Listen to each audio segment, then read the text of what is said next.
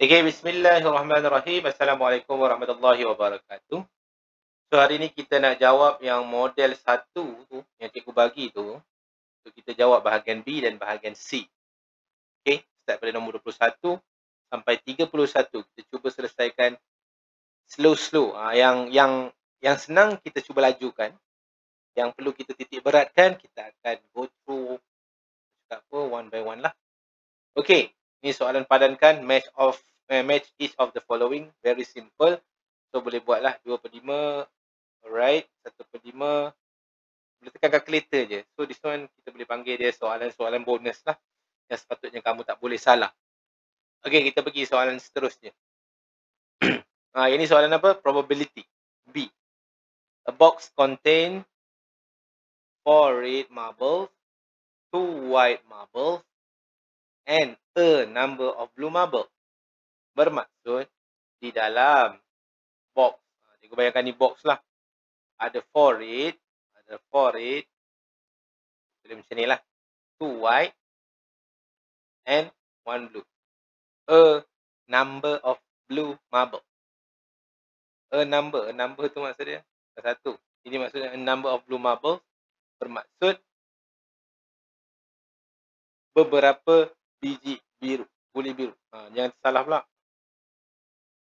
Sebab dia ada marbles tu kita kena ni lah. Biru kita tak tahu. Blue. Kita tak tahu. Kita letak X. Boleh. Okay a marble is chosen at random from the box. The probability of choosing a white marble white marble ni akan jadi 1 over 8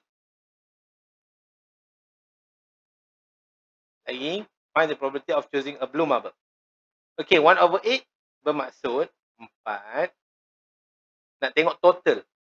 4 tambah 2 tambah X. Ini dia punya total. Ingat kan probability bahagi dengan semua kan. Bahagi dengan semua yang dekat dalam tu. Kita nak bahagi. So sekarang dia kata 1 over 8 tu adalah Y. 2. 2 bahagi dengan total. Ini total. Bahagian bawah ni adalah total. 2 ni adalah mewakili Y. Dia akan mendapat berapa? 1 over 8. Ha, gitu cara nak buat dia. So, kita boleh buat, tak silang boleh ataupun nak simplify dulu pun boleh. Tak apa, cikgu tunjuk sesuatu. 6 tambah X. 1 over 8. Lepas tu nak buat apa? Ha, boleh darab silang. 16. 6 tambah X. So, akan jadi berapa? X sama dengan berapa? 16 tolak 6 jadi 10. So, X, blue. Ha, yang blue ni lah. Yang sini sama dengan 10.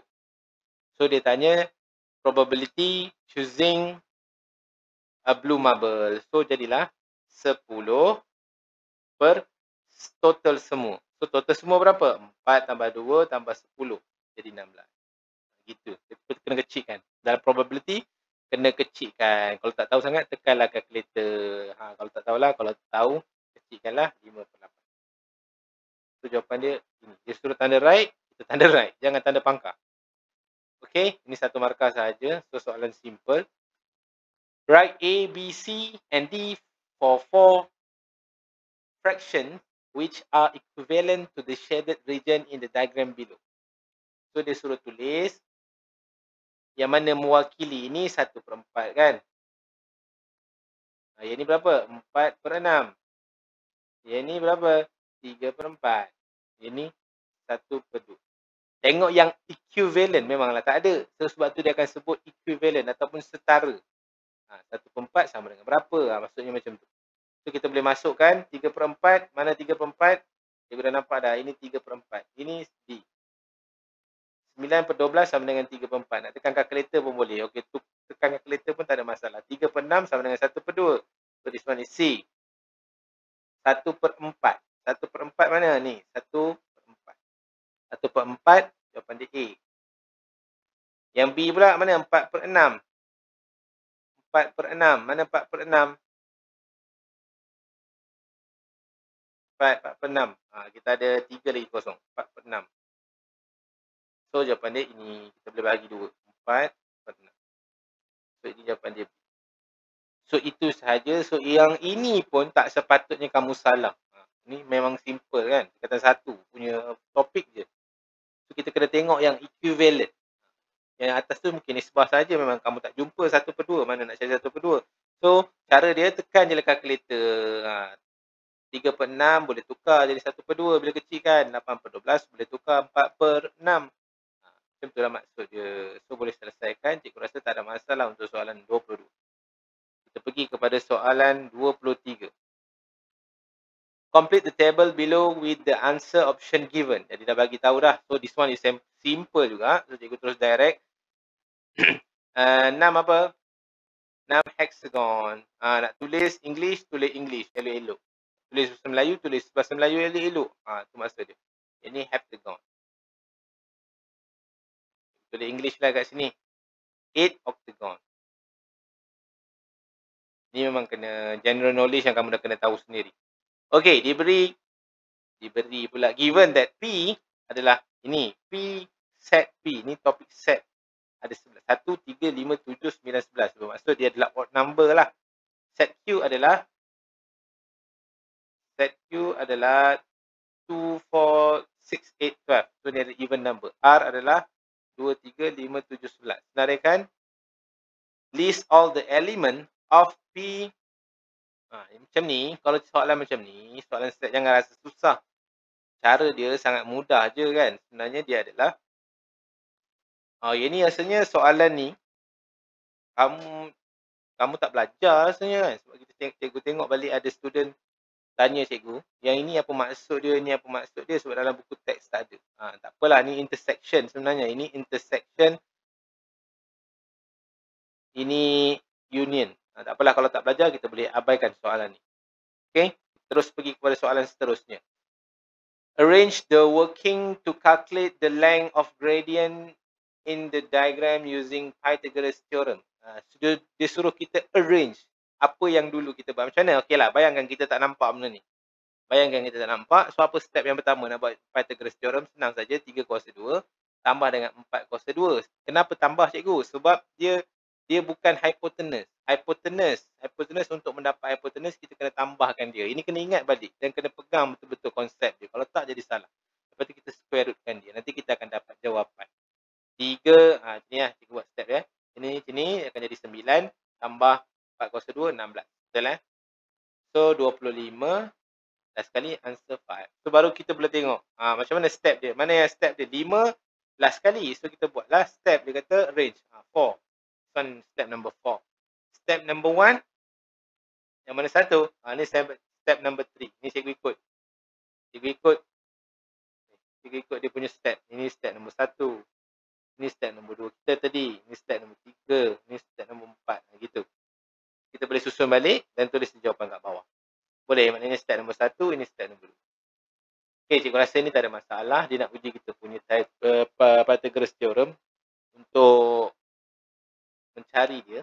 So, kita boleh buat. Mark right all the integers x that satisfy the inequality. So, ingat balik inequality inequality ni tingkatan satu. So kita kena kalau nampak macam straight ada banyak ni, kita kena pecahkan dia. Pecah macam mana cikgu? Okey, cikgu pecahkan. 3x tolak 8 less than x. Ini satu. Buat macam ni. Satu lagi. X, cikgu ambil daripada sini sampai sini pula. Ha, cikgu boleh pecah jadi kedua. Sama dengan pula. Ha, ini kena salin dia punya notation ni. Kena, sebab dia nak ikut nanti kan. Kita nak tengok, baca betul-betul. Apakah nilai dia. Okey, berarti kita selesaikan sahaja. Selesai ni kena hati-hati dan kena betul. Jangan salah. So, cikgu bawa 8 pergi sana. Dia akan jadi, ini akan 3x tolak x. 3x tolak x jadi 2x. Jadi 8x sama dengan 4. Ha, gitu.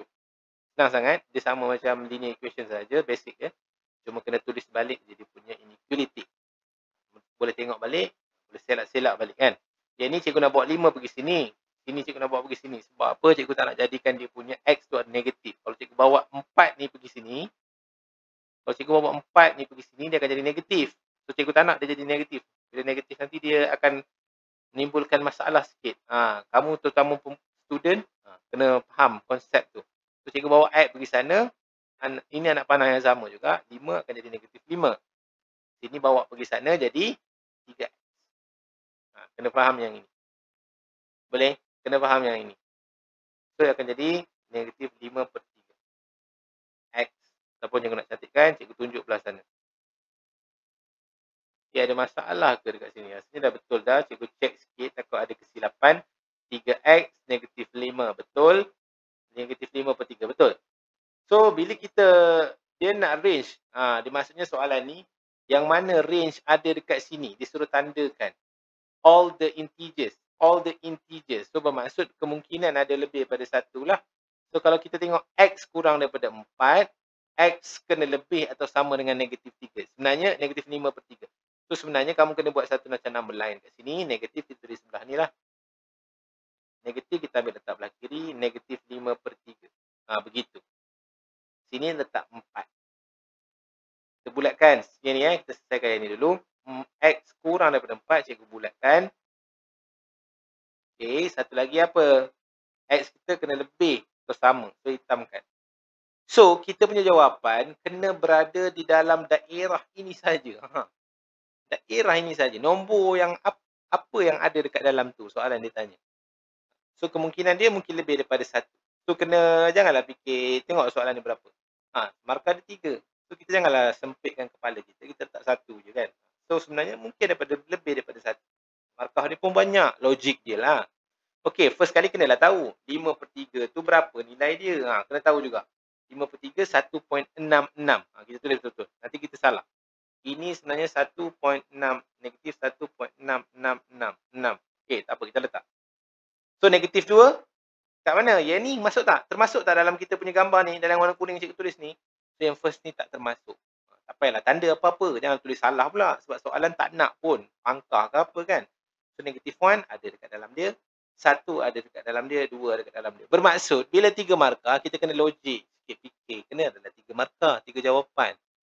Kalau satu je markah, mungkinlah satu saja. Itu ha, maksud dia. Eh, bukanlah ini tak jawapan ni satu ni rasanya. Tiga. Okey, tiga. Ha, so, memang tiga markah dekat situ. So, kalau tiga markah, memang kena jawab tiga lah. Okey, boleh faham kat situ? Mana dia ni? Hilang dah. Ha, ini. Kita pergi terus soalan. In the diagram below, ABCDE, F is a regular pentagon. AFF is straight line. Okay, kita dah tahu lah ini adalah regular pentagon. Regular pentagon. Regular pentagon. Mana regular pentagon? A, B, C, D, E. Ada enam. Hexagon. Bukan pentagon sebenarnya. Hexagon. Dia silap kat sini.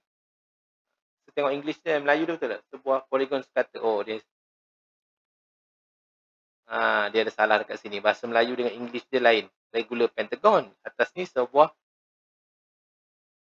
regular polygon. Ha, sepatutnya kat sini kena polygon. Bukan pentagon. Kita tengok yang logik lah.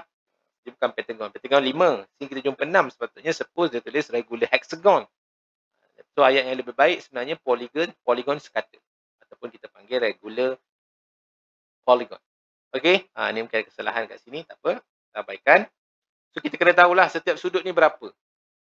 Berapa sudut setiap sudut? So kita dah belajar dah 6 tolak dengan 2 darab dengan 180 bahagi dengan 6. Begitu.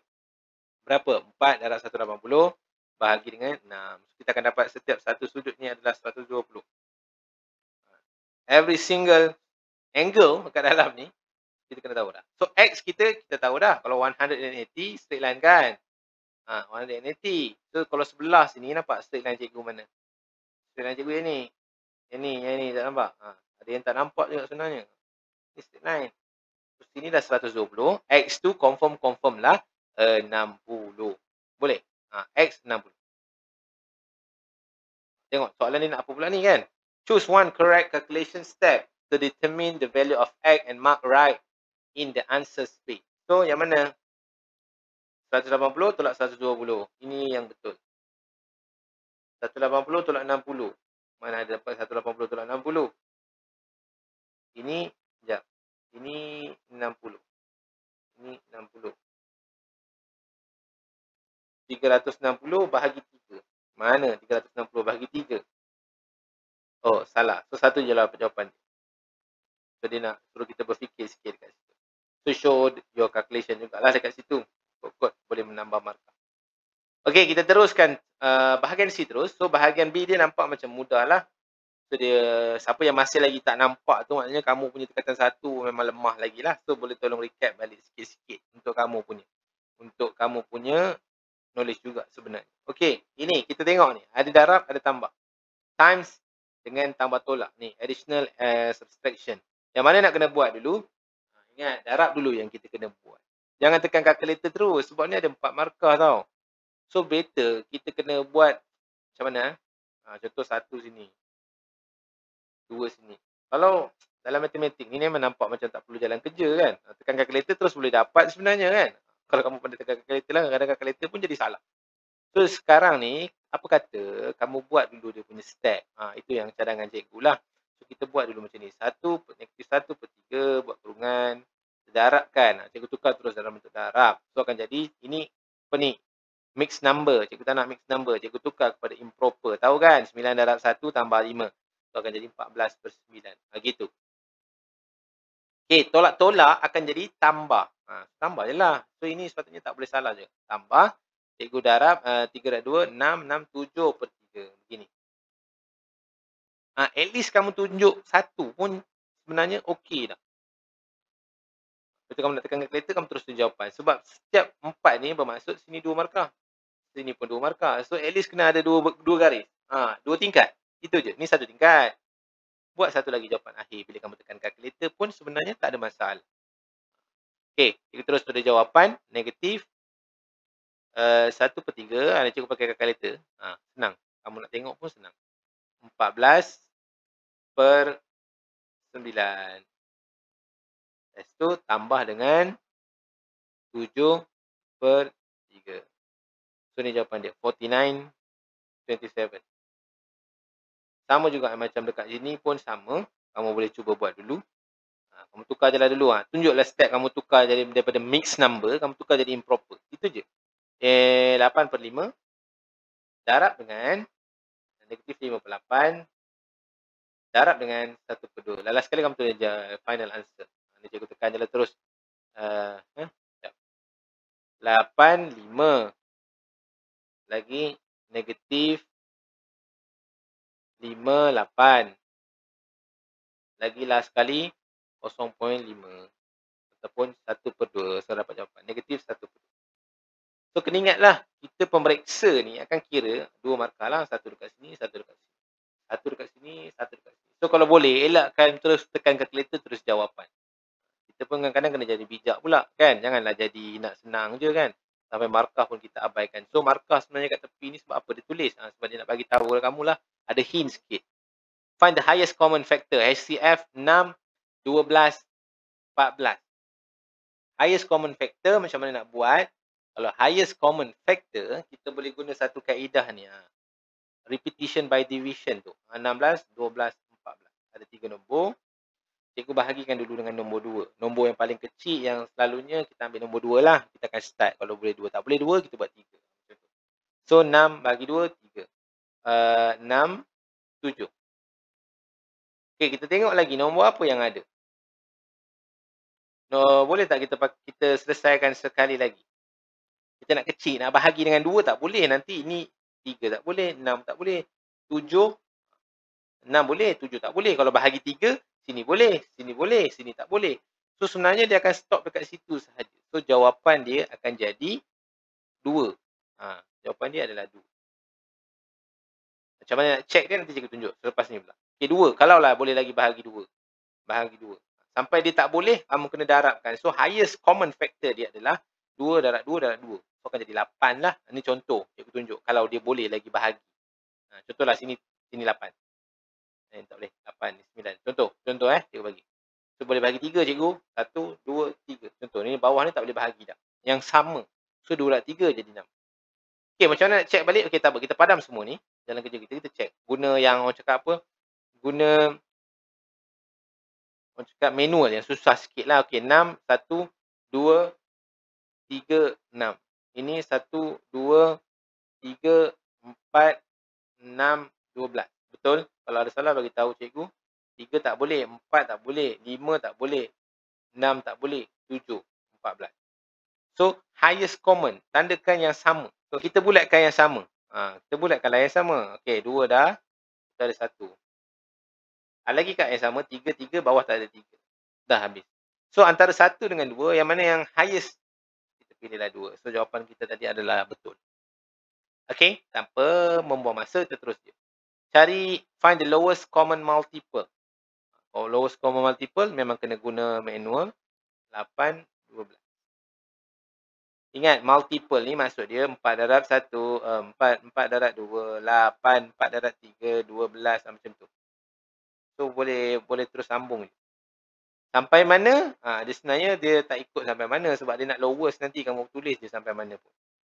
Buat yang sampai kamu larat. Ha, boleh. Macam ni 20 je lah. 8, 16, berapa? 24, 32 contoh. Ini maknanya 20 ni kena tambah lagi lah 24, 28, 32 contoh.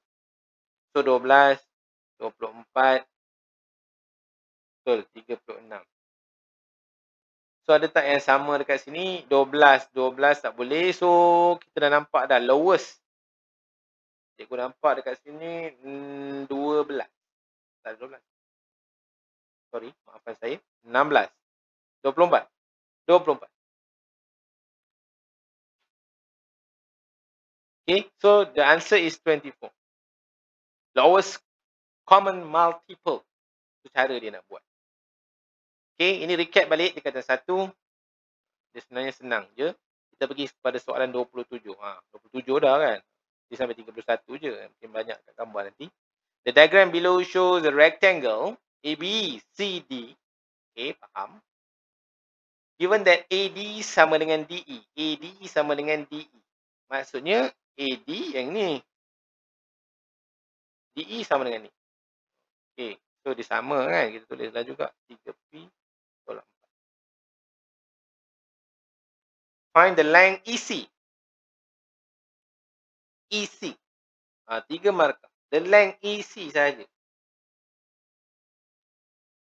Ulang balik semula kalau tak faham. The diagram below shows the rectangle ABCD. Diberi bahawa AD sama dengan DE. AD sama dengan DE. Ha, walaupun dia tak logik kan. Ni panjang je kenapa dia pendek dia kata sama. Ha, ikut. Patutnya dia, ikut pada soalan. Bukan ikut kita kan. Dia orang yang buat soalan. AD sama dengan DE. So find panjang EC. So nak cari panjang ni. Ni panjang ini tolaklah. 5P tambah 9. Tolak dengan yang ini. Betul. Tapi kalau tolak, hati-hati. Kena buat kurungan. Tolak memang kena kurungan. Sebab tu dia bagi tolak. Sebab dia tahu student akan jadi salah. Sebab apa? Nanti sign dia akan jadi salah. Ha, tapi kamu boleh cubalah. 5P tambah 9. Tolak 3P tambah 4. 5P tolak 3P, 2P, 9P akan jadi tambah 13. So this is the final answer. So memang senang sangatlah sebenarnya. Memang sesuai untuk ulang kaji pun sebenarnya. Untuk yang siapa yang masa masih lemah lagi tu, boleh tengok-tengok balik. Sebenarnya dia mudah. Ada dua kali dah ni, inequality. Kita tengok inequality yang ni dia dah bahagi siap-siap dah. Kita boleh buat sebelah-sebelah. Boleh. Kita buat macam ni dulu. 2x plus 3 less than or equal 7. Satu. Kita asingkan. Negative x minus 5. 3. Itu. Kita selesaikan yang ni dulu. Ni akan jadi tolak jadi 4 per 2. So 4 per 2 x sama dengan 7 tolak 3 4. 4 bahagi 2 dulu. Gitu. Okay, yang ini pula, kalau ikut cara cikgu mengajar, cikgu tak suka unknown dia negatif. Cikgu nak tukar bagi bawa jadi positif. Sebab apa?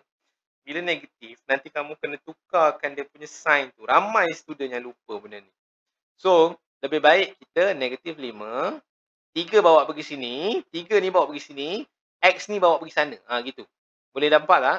Saya nak tukar dia. Ha, cikgu tak nak tunjuk banyak-banyak. Nanti kamu lagi tak pandai lagi negatif 5 tambah tolak tolak tolak 3 sign dia biar je sama macam atas x so negatif 5 negatif 8 kita cantikkan sikit x lebih besar daripada negatif 8 list all the integers yang satisfied dua-dua ni bermaksud dia nak kita listkan maknanya x kena lebih daripada negatif 8 X kena kurang daripada nombor 2. So, berapa jawapan dia? Berapa? Negatif 7, negatif 6, negatif 5. Boleh nampak tak? Negatif 4, negatif 3, negatif 2, negatif 1.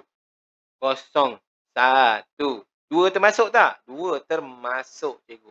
So ada semua ni kena betul. Satu, dua, tiga, empat, lima, enam, tujuh, lapan, sembilan, sepuluh. Sepuluh, sepuluh ni kena betul untuk dapat full mark. Untuk satu markah. Ha. Maknanya ini jalan kerja satu, ini jalan kerja dua, ini jalan kerja semua ni kena satu markah. Baru dapat tiga markah. Lebih kurang macam tu lah. Kita yang kena pandai sebenarnya. Okay, kita teruskan C. Diagram below shows a square length of ABCD and two triangular length. Ha, ni triangular ada dua. Satu satu square. Square sama eh. Sama panjang eh. Yang kena ingat tu. A, D, E and BCF. Okay, given the length of AB is C. Uh, 6. Ha, cikgu masukkan 6. So maksudnya sini 6 juga, sini 6 juga, sini 6 juga. Kalau pegang benda tu. And the length of CF is 2 more than the length length AB ini kena faham betul-betul ya. Length CF, CF ni adalah 2 cm lebih daripada AB. Mana AB? AB 6. AB 6. So kalau lebih 2 jadi 8 lah. Gitu lah. Ini asalnya sama. Boleh hitung hasil the sum of perimeter. Perimeter dia akan ambil ukur keliling sahaja. Yang ni, yang ni, yang ni, yang ni. Sebab dia kata land kan. So kita boleh buat tambahkan sahaja. Yang mana tak lengkap lagi. Tak lengkap lagi ada kat sini je. Berapa? Ini basic Pythagoras theorem. Nak buat pun boleh 8 kuasa 2 tambah 6 kuasa 2 puncakan. Nanti kamu akan dapat 10 jawapan dia. Nah, kalau cikgu, cikgu dah hafal. 6, 8, 10. So 10. Tulis je 10 dapat markah. Tak tujuh dalam kerja pun boleh dapat markah. Ha, yang ni selalunya soalan special. Ha, kamu tambahlah 10 tambah 6 tambah 10 tambah 8 tambah 6 tambah 8. Nanti kamu akan dapat jawapan. Boleh? Tambahkan semua sekali. Nak tambah juga 26. 26, 32. 32, 48. So the answer is 48. Boleh nampak? Hmm, jangan buat tak nampak pula. Ini memang soalan paling basic dan mudah. Sebelum kita jumpa yang soalan yang lagi susah. Yang sampai kita tak boleh berfikir dah. Sebenarnya VT3 ni ada yang soalan senang. Ada yang soalan sederhana. Ada yang soalan susah. Kena ingat benda tu. Okay. Kita padam ni dulu. Kita terus pergi cari luas A, B, F, E. A, A, A, B, F, E. Dia nak semua lah ni. A, B, F, E. So, dia nak area semua jenis panjang ni. So, boleh buat lah. Untuk yang ni boleh buat A. Ada orang nak buat B, ada orang nak buat C. Boleh juga. Tak ada masalah. Dia ada paksaan. Okay, A. Ni cara dia lah. A maknanya 1 per 2, 8 darab 6. Tambah dengan ini 6 darab 6. Tengah-tengah ni kan yang B. Ini B. Ini C. C tambah dengan sama juga. 1 per 2, 8 darab dengan boleh. 68, 48 bahagi 2, 24. So, sini pun akan jadi 24. Ini jadi 36. So, boleh tambahlah sendiri. 48 tambah 36. 84. Okay, boleh. Ini cikgu congak je. Saya tunjuk ni pun tak apa. Tekan kalkulator kamu. Maksudnya betul tu. 48 plus 36, 84. Ya, yeah, betul. So harap sampai sini memang boleh lagi. So tak nak ada masalah yang ni. Kita terus pergi kepada soalan seterusnya.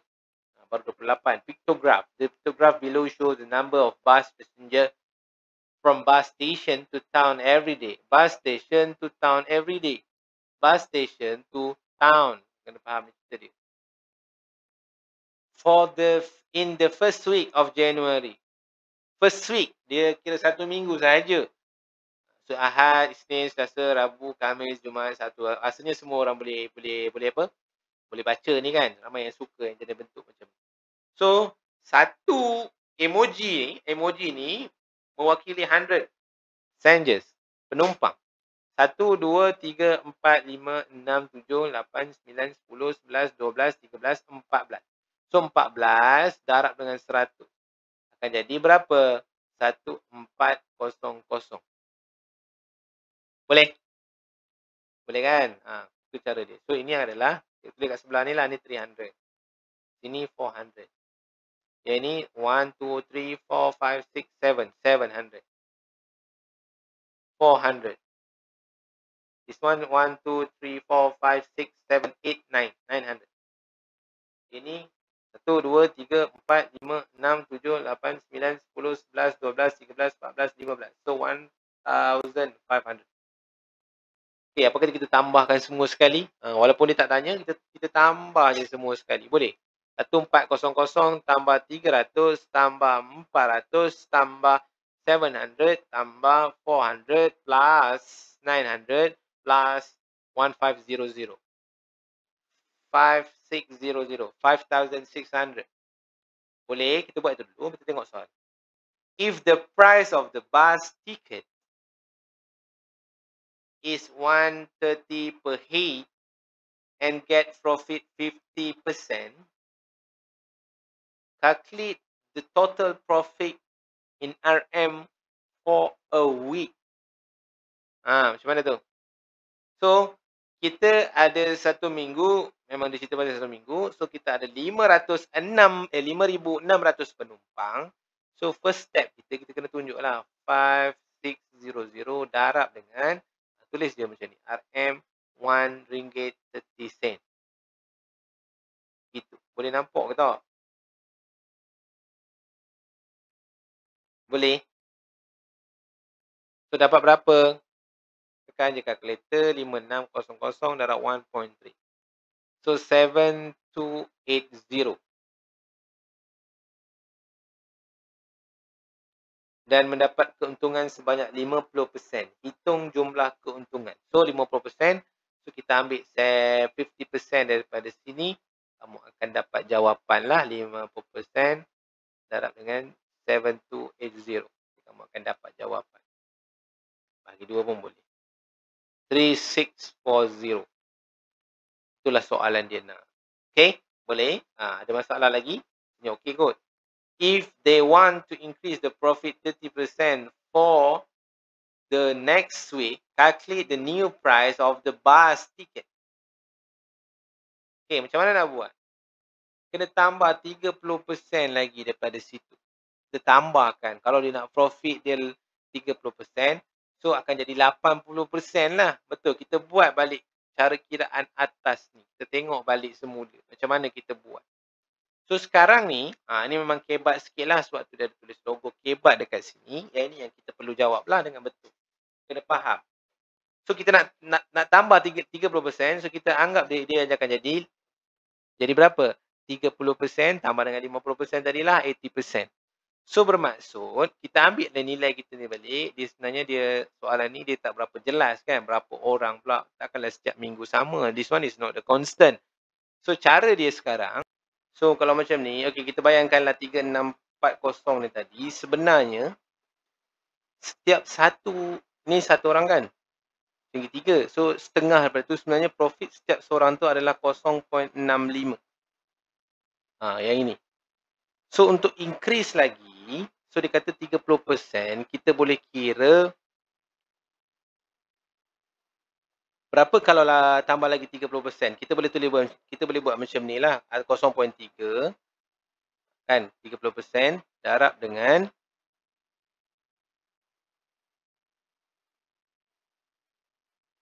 daripada seringgit eh, daripada 0.65 tu.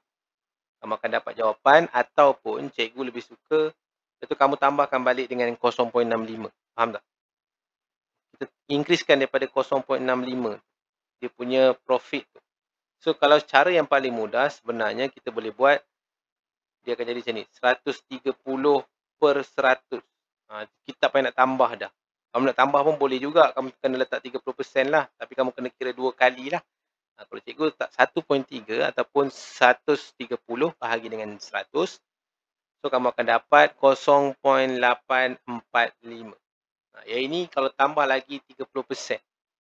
So cara mudah dia, dia nak harga satu tiket kan. Dia nak harga tiket baru. So ini mudah je. Kamu tambahkan sahaja 0.65 tambah 0.845. Nanti kamu akan dapat jawapan 1.495.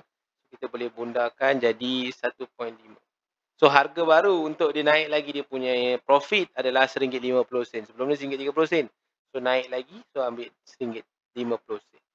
Okey, tak nak buang masa, kita pergi terus. Ini diagram ACD, ADC. ADC is a right angle triangle. So 90 degree.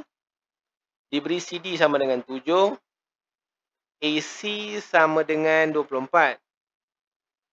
Cari luas segitiga ABD. Dia nak luas yang ni. ABD. Okay, first kali kita nampak eh, yang ni, yang ni, yang ni. So, 24, 7. This one akan jadi 25. Kita guna term Pythagoras theorem. So, ini memang cikgu dah tahu 25. So, dia kata sama nampak tak simbol tu. So, dia akan jadi 25. Sama. Jadi, kita cari sahaja luas dia. Boleh tak cari luas dia? Ha, kalau cara cara PT3 dia kena tolakkan lah yang besar, yang besar, yang besar. Tolak yang kecil. Ha, baru kita akan dapat A, B, D. Boleh kita buat yang kecil besar dulu. Besar berapa? 1 per 2. 24 darab dengan 25 campur 27. Berapa? 32. Okay. Dapat besar. Tolak dengan yang kecil. 1 per 2. 7, 24. Gitu. Nanti kamu akan dapat jawapan dia. So, boleh tekan kalkulator. Sekejap, kita cuba. Kosong.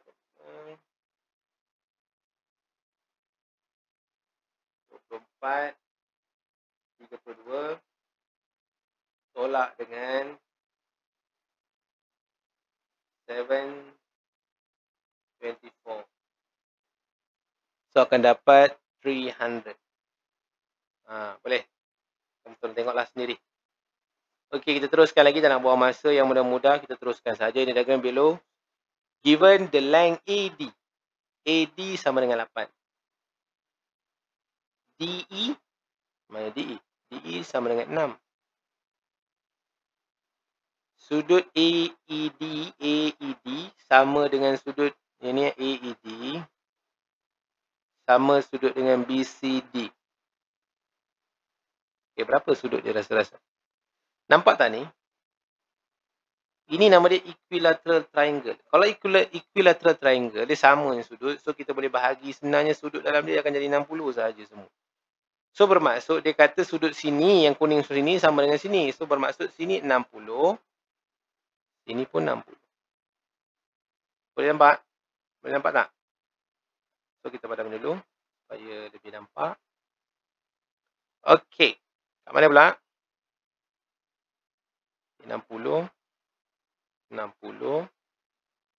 Alright. Sini berapa? 180. Tolak 84. Tolak 63. Kita kalkulator check. 84. Tolak 63. This one is 33. Sini 90.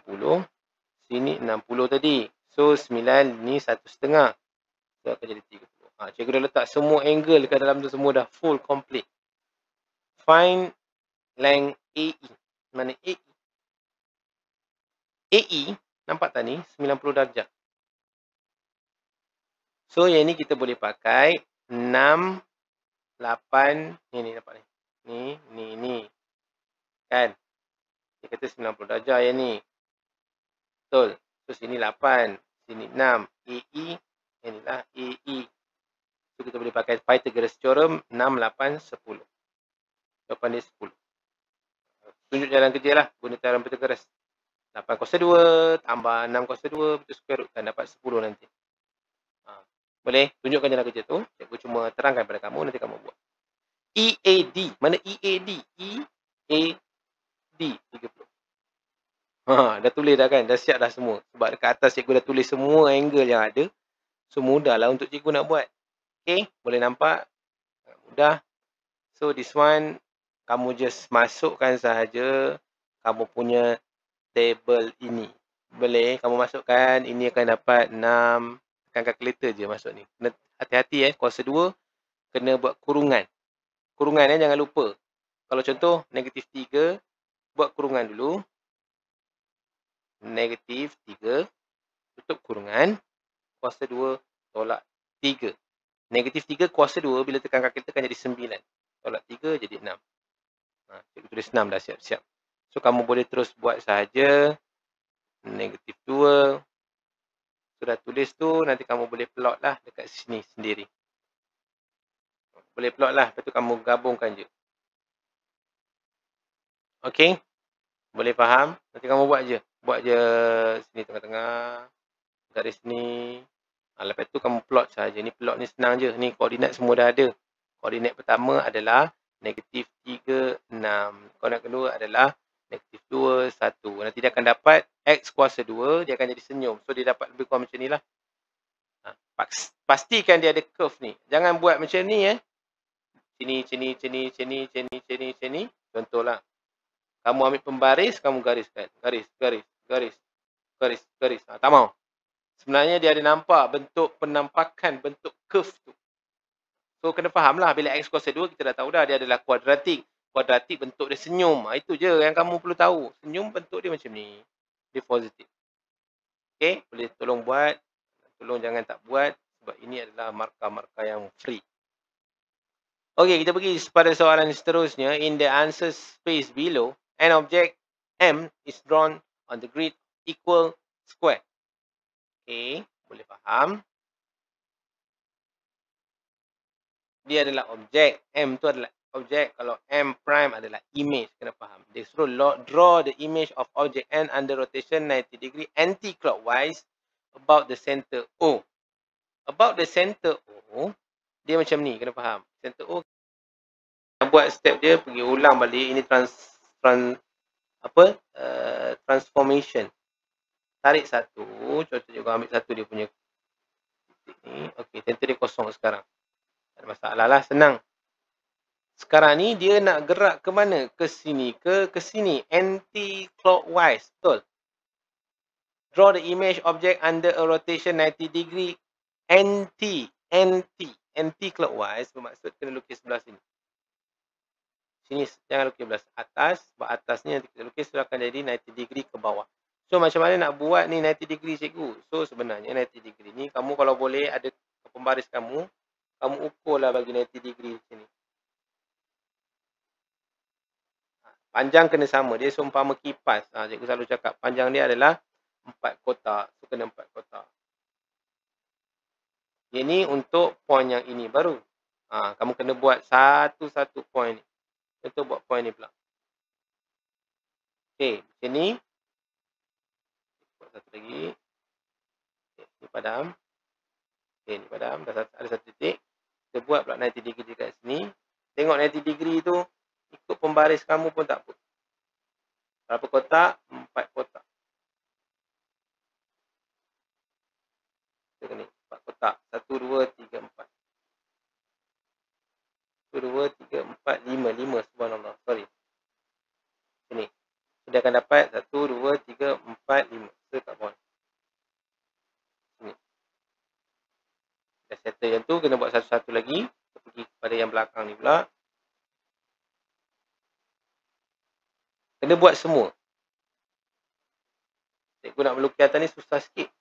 So buat 90 degree. Cikgu letakkan dia dekat. Nampak tak ni? Garisan dekat, dekat pembaris tu letak je. Kalau kamu letak dengan pembaris, kamu boleh nampak lagi. 1, 2, 3, 4, 5, 6.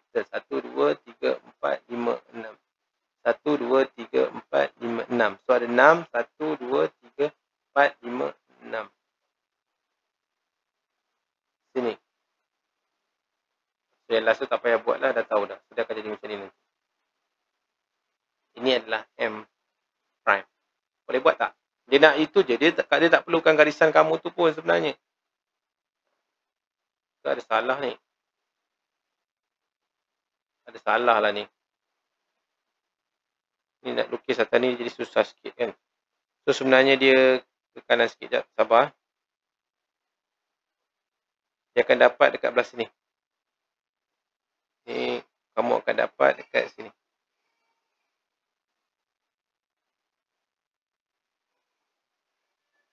Tadi cikgu tarik tu dia tak apa-apa betul nanti degree dia. So kamu guna kaedah yang sama juga boleh. Okay nanti kamu akan dapat dekat sini. M. Baru betul. Okay. Maksudnya tak ada masalah. Terus bagi kepada soalan 30. Last. Second last ha. Okay. Ada lagi ke soalan dia? Tuan-tuan. Ada lagi lah. Hence draw the image. Ada soalan B dia ni. Dua, dua, dua. Hence draw the image of object M under enlargement of scale factor to center. With center negatif 5, negatif 2. So dia suruh M under enlargement. Ha, dia suruh besar. Titik dia mana? Kena tahu juga titik dia. Cikgu padam yang ni. Titik dia berapa dia kata ni? Negatif 5, negatif 2. Okey sini. So dia akan dapat dua kali ganda. So dia akan tambah satu je lagi. So sini je lah. Ha, ingat enlargement ni scale factor sama dengan image bahagi objek. Ha, begitu. Contoh objek dia satu kan. Ni satu. Kita ambil titik ni dulu. Satu. Objek satu. Cikgu letak objek satu. Itu panjang titik tu dengan image pula yang kawan dia juga satu dua. So dia akan jadi dua. So dia punya scale factor dua. So scale factor dekat sini dua. So boleh tengok balik enlargement. Apa kita abaikan tu. Yang melukis tu ramai orang yang boleh buat sebenarnya. Okey, kita pergi seterusnya. Given that M M adalah K4 is the midpoint. Midpoint eh of the straight line AB. The coordinate of A and B are okey maknanya macam ni. A contohlah kita ambil kita main letak je eh 3 10 kat sini. A 3 10. B pula 9 negatif 2 contoh dekat sini. B 9 9 negatif 2. Kalau nak letak kat mana pun tak apa. Sebab ini dia boleh betul juga. So dikata K tu eh, M tu adalah di tengah-tengah. Koordinat dia apa? K 4. So ingat balik this one is a midpoint. Midpoint ni senang je kan. Ini tambah yang ini bahagi 2. Lepas tu pula satu lagi apa dia satu lagi? Satu lagi yang ini tambah dengan ini bahagi dua. Boleh nampak tak? So kita buat dulu. Dia soalan dia find the value of K. So senang je lah. Maknanya 3 tambah 9 bahagi 2 sama dengan K. So the K akan dapat 12 bahagi 2, 6. Boleh. Okay, B simplify. Ini pun rasanya student okey. First kali expand dulu yang kurungan tu tak nak. Ha, tak nak kurungan. So kuasakan eh. 8 kena kuasa 1 per 3. Ini yang ramai sangat salah. Kuasa 1 per 3. Akan dapat 2. Yang ni kena darab pula. Yang dekat depan X kena darab. 3 darab 1 per 3 akan jadi satu. Faham tak? Tiga darab satu per tiga. Satu lah. Ha. Enam pun sama. Akan dapat Y dua. Itu. Satu ni tak payah tulis pun tak apa. Kalau tak nak tulis. Kalau nak tulis pun boleh. Tak ada masalah pun. Jadi jawapan akhir nanti kamu janganlah tulis pula. Nanti dia tak cantik.